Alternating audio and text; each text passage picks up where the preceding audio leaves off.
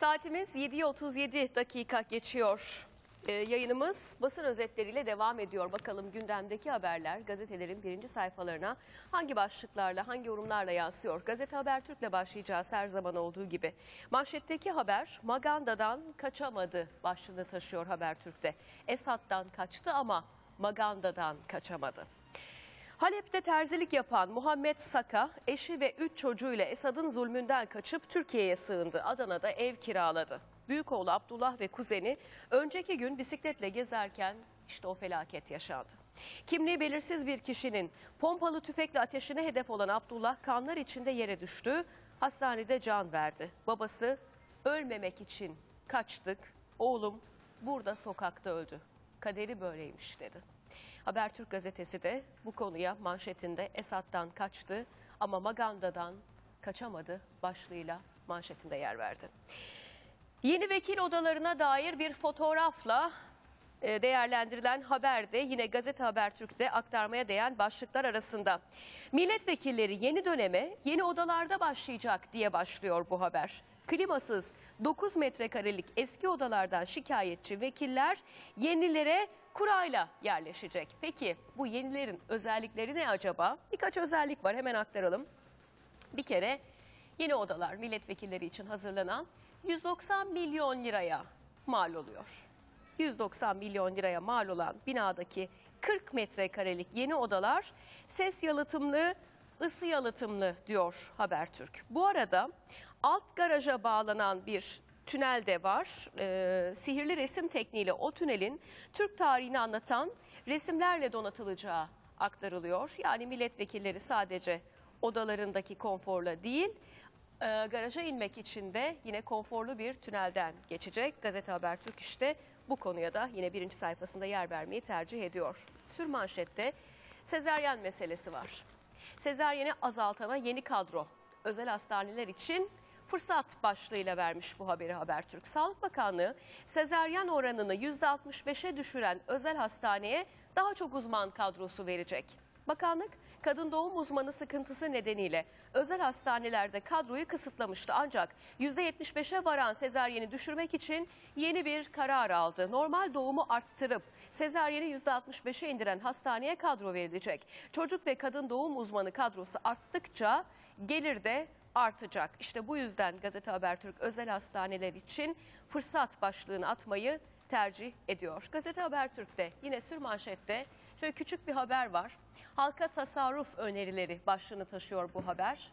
Acaba neymiş bize yönelik bu tasarruf haberleri, önerileri diye bakıyoruz ve bakın karşımıza neler çıkıyor. Halka tasarruf önerileri. Etiketteki 99 kuruşa kanmayın. Gitmediğiniz fitness'a yazılmayın. Günde 5 liraya kahve içmeyin. İndirim dönemini takip edin. Lüks mutlu etmez, unutmayın. Fatura geciktirip faiz vermeyin. Pazarlık atasporu yapın. Sinemada küçük mısır alın. İşte halka tasarruf önerileri başlıklı haberde bu konuya yer veriliyor Gazete Habertürk'te. Sabah gazetesinde intihara kasten öldürme davası manşette. Yargıda bir ilk diye duyuruluyor söz konusu haber. Canına kıyan genç kızın erkek arkadaşlarına intihara mecbur bırakma suçlamasıyla cinayet davası açıldı. Aslında bu cümle zaten her şeyi özetliyor. Canına kıyan genç kızın erkek arkadaşlarına intihara mecbur bırakma suçlamasıyla cinayet davası açıldı. Ankara'dan bir haber bu. E, olayın tüm ayrıntılarına yer veriliyor. Cinayet davası açıldığından bahsediliyor ve iki zanlının ağırlaştırılmış müebbet istemiyle yargılanacağı aktarılıyor. Aynı haber içinde intihara kasten öldürme davası başlığıyla birlikte. Sabah gazetesinde saldırı istihbaratı 3 ay önceden geldi başlıklı haber. Somali'deki Türkiye Cumhuriyeti Büyükelçiliği'nin ek binasına yönelik saldırıyla ilgili. Türkiye'nin Somali Büyükelçiliği'ne yönelik saldırıda yeni ayrıntılar var demiş gazete. Saldırı olacağına ilişkin istihbarat 3 ay önce geldi. Sıkı önlem alındı. Acil durum eğitimi verildi. Saldırganlar binadaki herkesi öldürecekti. Hedef Türkiye'nin kara, kara kıta politikasıydı demiş Sabah gazetesi. Hürriyet gazetesine bakalım. Direk vurgunu daha doğrusu direkt vurgun Hürriyet'in manşeti. Sayıştay, TEDAŞ'ın aldığı aydınlatma direklerinin şartnamedeki, şartnamedeki ayrılıktan %50 daha hafif olduğunu, özür diliyorum şartnamedeki ağırlığından %50 daha hafif olduğunu, kurumun 2 milyon lira zarara uğratıldığının tespit edildiğini açıkladı. Biraz ayrıntıya bakalım. Direkt vurgun başlıklı haberin. Türkiye Büyük Millet Meclisi KİT Komisyonu'nun 12 Haziran'daki görüşmelerinde 5 yıl önceki aydınlatma direği ihalesinde maliyenin belirlemelerine göre Türkiye Elektrik Dağıtım Anonim Şirketi'nin kısa adıyla TEDAŞ'ın 1 milyon 999 bin 102 lira zarara uğratıldığı ortaya çıktı. Sayıştay temsilcisi örneğin direkler 40 kilogram ama ödenen rakam 80 kilo üzerinden dedi. TEDAŞ Teftiş Kurulu Başkanı Mesut Karaosmanoğlu bu fark hesaplamaları yapılacak ve müteahhitlerden tahsil edilecek diye konuştu. Hürriyet gazetesi de tüm bu ayrıntılardan sonra direkt vurgun başlığını atmayı tercih etti. Hürriyet gazetesinde taklide gerek yok. Central Park olmaz başlıklı haberde Başbakan Erdoğan var. Başbakan Erdoğan İstanbul Zeytinburnu'nda yapılması planlanan yeşil alana Central Park isminin yakıştırılmasını eleştirdi. İstanbul Büyükşehir Belediye Başkanı Kadir Topbaş'ın ev sahipliğindeki iftarda konuşan Erdoğan, niye Central Park kardeşim?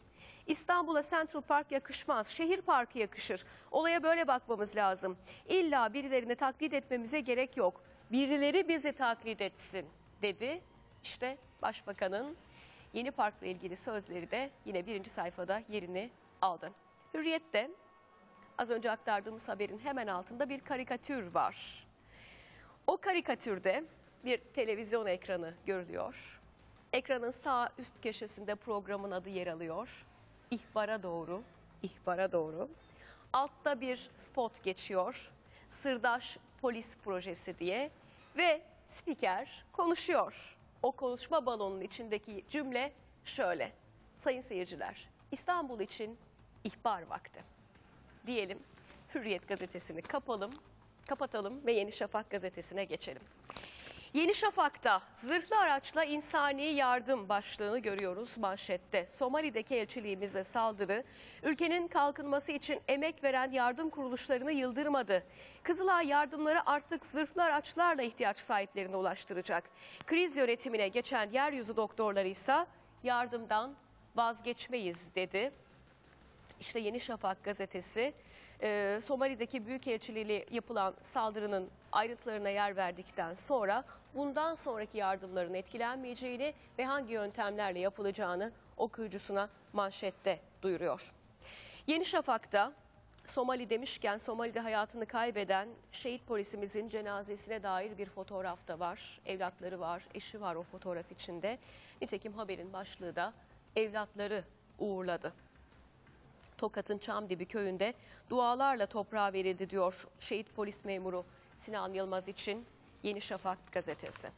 Milliyet gazetesiyle turumuza devam edeceğiz. Milliyet gazetesinde Somali polisi göz yumdu başlığını görüyoruz. Milliyet elçilik saldırısının ayrıntılarını açıkladığından bahsediyor söz konusu haberde.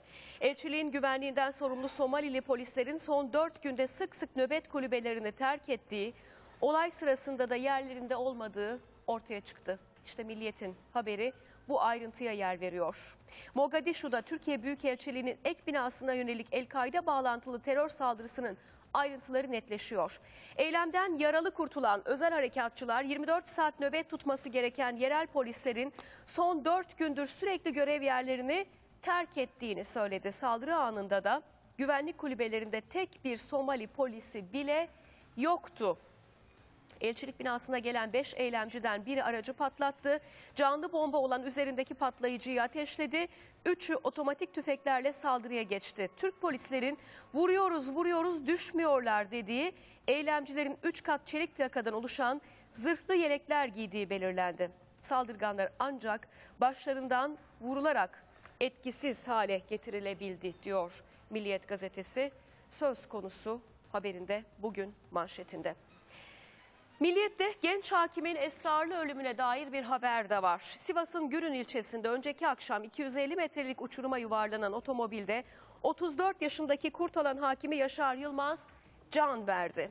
İhbar üzerine olay yerine giden jandarma ekipleri incelemelerinde araçta 25 kilogram esrar ve bir miktar uyuşturucu hap buldu. Bu arada yakınları Hakim Yılmaz'ın otomobil kullanmayı bilmediğini öne sürdü diyor Milliyet gazetesi. Haberin başlığını hatırlatalım. Genç hakimin esrarlı ölümü. Hakimlik demişken, hakim demişken hakimler savcılar sınavına dair bir başlıkta dikkat çekiyor hatta biraz gülümsetiyor. Savcı adayı elma ağacını geçemedi. Hakimlik savcılık sınavını 8 kez kazanmasına rağmen mülakatları geçemeyen adaydan sonra sınavı 22 kez kazanan bir aday daha çıktı. Hakim savcı olma hayali. Her seferinde mülakata takılan hazine avukatı Adem Sevilmiş, kendisine laptop bilgisayarların batarya çeşitleri ve elma bahçesindeki ağaçların dikim mesafesi gibi sorular yöneltildiğini öne sürüyor, diyor Milliyet gazetesi. Biz de yorumsuz aktarıp Zaman gazetesine geçelim bakalım. Suriyeli muhalifler humusu da kaybediyor diyor Zaman gazetesi manşetinde. İran ve Hizbullah destekli Esad birlikleri bir buçuk yıldır kuşatma altında tuttuğu muhaliflerin elindeki humusun büyük kısmını ele geçirdi. Stratejik şehir düşerse sonraki hedef Hama'yla Şam'da muhaliflerin kontrolündeki bölgeler. Buralarda da üstünlük sağlarsa savaşın kaderinin Esad lehine değişebileceği belirtiliyor diyor Zaman gazetesi. Humus'u e, Suriyeli muhaliflerin kaybettiğine dair bir